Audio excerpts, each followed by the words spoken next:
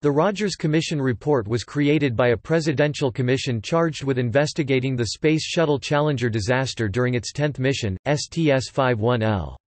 The report, released and submitted to President Ronald Reagan on 9 June 1986, both determined the cause of the disaster that took place 73 seconds after liftoff, and urged NASA to improve and install new safety features on the shuttles and in its organizational handling of future missions.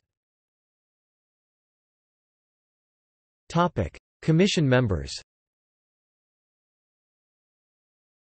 William P. Rogers, Chairman and former United States Secretary of State under Richard Nixon and United States Attorney General under Dwight Eisenhower. Neil A. Armstrong, Vice Chairman, retired astronaut and first human to walk on the Moon, Apollo 11. David Campion Acheson, diplomat and son of former Secretary of State Dean Acheson. Eugene E. Covert, aeronautics expert and former chief scientist of the U.S. Air Force Richard P. Feynman, theoretical physicist and winner of the 1965 Nobel Prize in Physics Robert B. Hotz, editor, Aviation Week and Space Technology Donald J. Kutyna, Air Force general with experience in ICBMs and shuttle management Sally K. Ride, American engineer, astrophysicist and first female American astronaut in space, flew on Challenger as part of missions STS-7 and STS-41G. Robert W. Rummel, Trans World Airlines executive and aviation consultant to NASA Joseph F. Sutter, engineer for Boeing and part of team that developed Boeing 747 aircraft Arthur B. C. Walker, Jr., solar physicist and Stanford University professor Albert D. Wheelon, physicist and developer of Central Intelligence Agency's aerial surveillance program Charles E. Yeager, retired Air Force general and the first person to break the sound barrier in level flight Alton G. Keel, Jr., executive director of the Commission Topic. Findings The Commission found that the Challenger accident was caused by a failure in the O-rings sealing the aft field joint on the right solid rocket booster, causing pressurized hot gases and eventually flame to blow by the O-ring and contact the adjacent external tank, causing structural failure. The failure of the O-rings was attributed to a design flaw, as their performance could be too easily compromised by factors including the low temperature on the day of launch. An accident rooted in history More broadly, the report also determined the contributing causes of the accident. Most salient was the failure of both NASA and its contractor, Morton Thiokol, to respond adequately to the design flaw. The Commission found that as early as 1977, NASA managers had not only known about the flawed O-ring, but that it had the potential for catastrophe. This led the Rogers Commission to conclude that the Challenger disaster was an accident rooted in history. Topic: Flawed launch decision The report also strongly criticized the decision-making process that led to the launch of Challenger, saying that it was seriously flawed. There was a meeting the night before the launch to discuss any major pressing issues that might delay the launch further.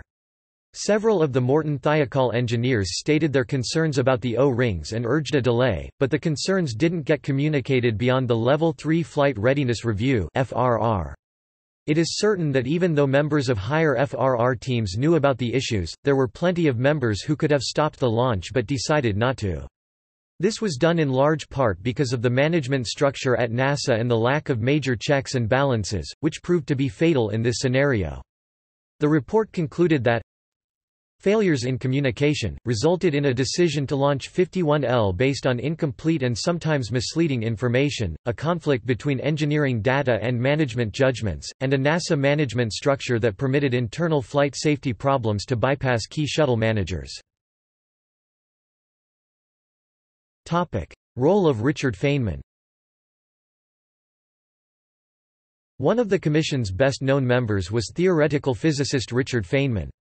His style of investigating with his own direct methods rather than following the Commission's schedule put him at odds with Rogers, who once commented, "'Feynman is becoming a real pain'".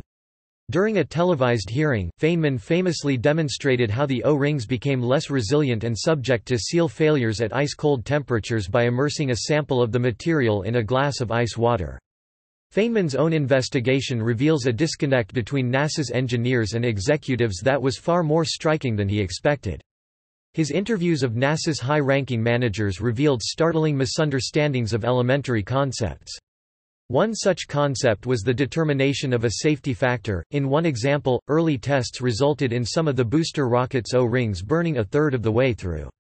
These O-rings provided the gas-tight seal needed between the vertically stacked cylindrical sections that made up the solid fuel booster. NASA managers recorded this result as demonstrating that the O-rings had a safety factor of 3. Feynman incredulously explains the magnitude of this error, a safety factor refers to the practice of building an object to be capable of withstanding more force than the force to which it will conceivably be subjected. To paraphrase Feynman's example, if engineers built a bridge that could bear 3,000 pounds without any damage, even though it was never expected to bear more than 1,000 pounds in practice, the safety factor would be 3. If a 1,000-pound truck drove across the bridge and it cracked at all, even just a third of the way through a beam, the safety factor is now zero, the bridge is defective. Feynman was clearly disturbed by the fact that NASA management not only misunderstood this concept, but inverted it by using a term denoting an extra level of safety to describe a part that was actually defective and unsafe. Feynman continued to investigate the lack of communication between NASA's management and its engineers, and was struck by management's claim that the risk of catastrophic malfunction on the shuttle was 1 in 105, i.e., 1 in 100,000. Feynman immediately realized that this claim was risible on its face. As he described, this assessment of risk would entail that NASA could expect to launch a shuttle every day for the next 274 years while suffering, on average, only one accident. Investigating the claim further, Feynman discovered that the 1 in 105 figure was stating what they claimed that the failure rate ought to be, given that it was a manned vehicle, and working backwards to generate the failure rate of components. Feynman was disturbed by two aspects of this practice. First, NASA management assigned a probability of failure to each individual bolt, sometimes claiming a probability of 1 in 108, that is, 1 in 100 million. Feynman pointed out that it is impossible to calculate such a remote possibility with any scientific rigor. Secondly, Feynman was bothered not just by this sloppy science but by the fact that NASA claimed that the risk of catastrophic failure was necessarily 1 in 105. As the figure itself was beyond belief, Feynman questioned exactly what necessarily meant in this context, did it mean that the figure followed logically from other calculations, or did it reflect NASA management's desire to make the numbers fit? Feynman suspected that the 1 100,000th figure was wildly fantastical, and made a rough estimate that the true likelihood of shuttle disaster was closer to 1 in 100. He then decided to poll the engineers themselves, asking them to write down an anonymous estimate of the odds of shuttle explosion. Feynman found that the bulk of the engineers' estimates fell between 1 in 50 and 1 in 200. Not only did this confirm that NASA management had clearly failed to communicate with their own engineers, but the disparity engaged Feynman's emotions. When describing these wildly differing estimates, Feynman briefly lapses from his damaging but dispassionate detailing of NASA's flaws to recognize the moral failing that resulted from a scientific failing. He was clearly upset that NASA presented its clearly fantastical figures as fact to convince a member of the public, schoolteacher Christa McAuliffe, to join the crew. Feynman was not uncomfortable with the concept of a 1 100th risk factor, but felt strongly that the recruitment of laypeople required an honest portrayal of the true risk involved. Feynman's investigation eventually suggested to him that the cause of the Challenger disaster was the very part to which NASA management so mistakenly assigned a safety factor. The O-rings were rubber rings designed to form a seal in the shuttle's solid rocket boosters, preventing the rocket's hot gas from escaping and damaging other parts of the vehicle. Feynman suspected that despite NASA's claims, the O-rings were unsuitable at low temperatures and lost their resilience when cold, thus failing to maintain a tight seal when rocket pressure distorted the structure of the solid fuel booster. Feynman's suspicions were corroborated by General Kutyna, also on the commission, who cunningly provided Feynman with a broad hint by asking about the effect of cold on O-ring seals after mentioning that the temperature on the day of the launch was far lower than had been the case with previous launches, below freezing at 28 to 29 degrees Fahrenheit (-2.2 to -1.7 degrees Celsius). Previously, the coldest launch had been at 53 degrees Fahrenheit (12 degrees Celsius). In 2013, the BBC film The Challenger revealed that the O-ring insight had in fact come to Kutyna from the astronaut and fellow commission member Sally Ride, who had secretly provided him with NASA test results showing the O-rings became stiff when they were too cold. Feynman's investigations also revealed that there had been many serious doubts raised about the O-ring seals by engineers at Morton Thiokol, which made the solid fuel boosters, but communication failures had led to their concerns being ignored by NASA management. He found similar failures in procedure in many other areas at NASA, but singled out its software development for praise due to its rigorous and highly effective quality control procedures, then under threat from NASA management, which wished to reduce testing to save money given that the tests had always been passed.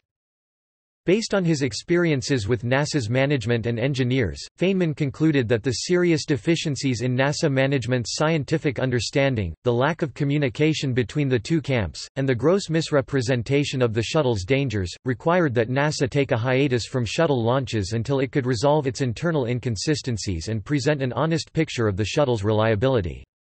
Feynman soon found that, while he respected the intellects of his fellow commission members, they universally finished their criticisms of NASA with clear affirmations that the Challenger disaster should be addressed by NASA internally, but that there was no need for NASA to suspend its operations or to receive less funding. Feynman felt that the Commission's conclusions misrepresented its findings, and he could not in good conscience recommend that such a deeply flawed organization as NASA should continue without a suspension of operations and a major overhaul. His fellow commission members were alarmed by Feynman's dissent, and it was only after much petitioning that Feynman's minority report was included at all. Feynman was so critical of flaws in NASA's safety culture that he threatened to remove his name from the report unless it included his personal observations on the reliability of the shuttle, which appeared as Appendix F in the appendix. He stated, It appears that there are enormous differences of opinion as to the probability of a failure with loss of vehicle and of human life.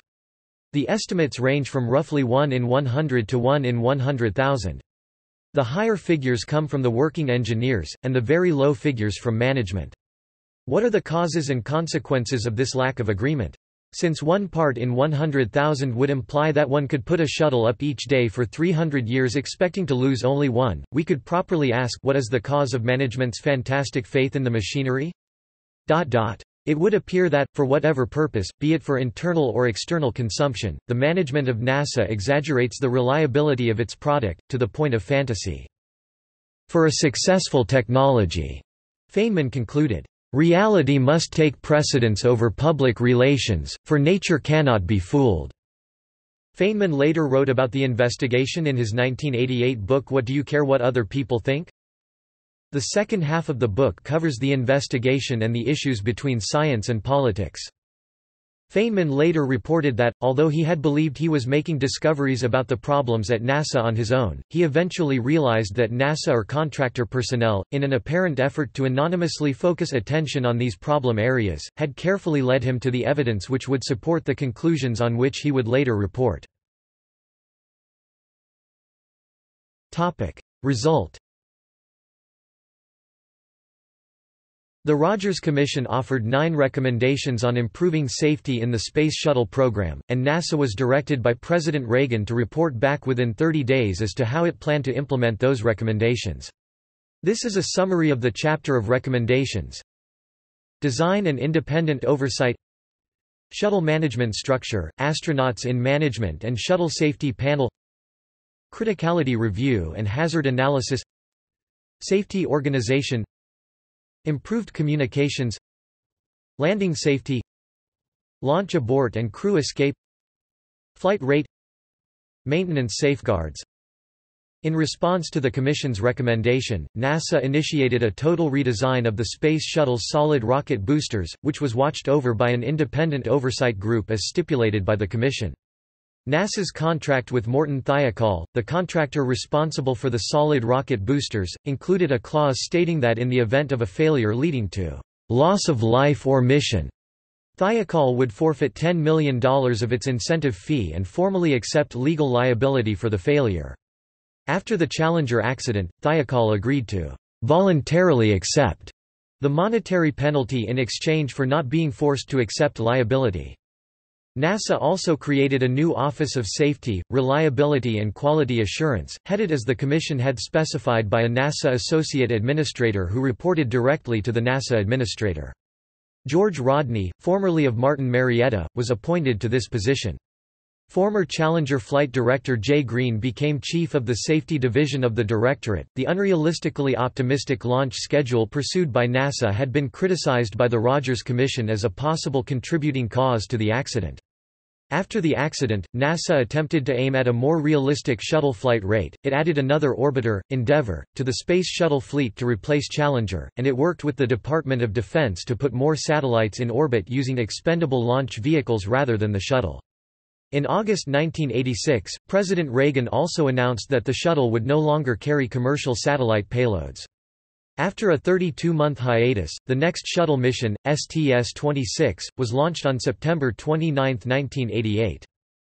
Although changes were made by NASA after the Challenger accident, many commentators have argued that the changes in its management structure and organizational culture were neither deep nor long-lasting. After the Space Shuttle Columbia disaster in 2003, attention once again focused on the attitude of NASA management towards safety issues. The Columbia Accident Investigation Board concluded that NASA had failed to learn many of the lessons of Challenger. In particular, the agency had not set up a truly independent Office for Safety Oversight. The CAIB felt that in this area, NASA's response to the Rogers Commission did not meet the Commission's intent. The CAIB believed that the causes of the institutional failure responsible for Challenger have not been fixed, saying that the same flawed decision-making process that had resulted in the Challenger accident was responsible for Columbia's destruction 17 years later. See also Columbia Accident Investigation Board Apollo 1 References. Topic. External links. Report of the Presidential Commission on the Space Shuttle Challenger accident, the Rogers Commission Report on the accident NASA.gov parsed HTML version Report of the Presidential Commission on the Space Shuttle Challenger accident, PDF version 9.85 megabits, compiled by Thomas Thomasab Hearing on the Space Shuttle accident and the Rogers Commission report, 219 pages 14.2 megabytes U.S. Senate Committee on Commerce, Science and Transportation, Subcommittee on Science, Technology and Space. Date, 99th Congress, Second Session, February 18, June 10 and 17, 1986. See also GPO Challenger Index page. 1 Report of the Presidential Commission on the Space Shuttle Challenger Accident, Appendix F – Personal Observations on Reliability of Shuttle by R.P. Feynman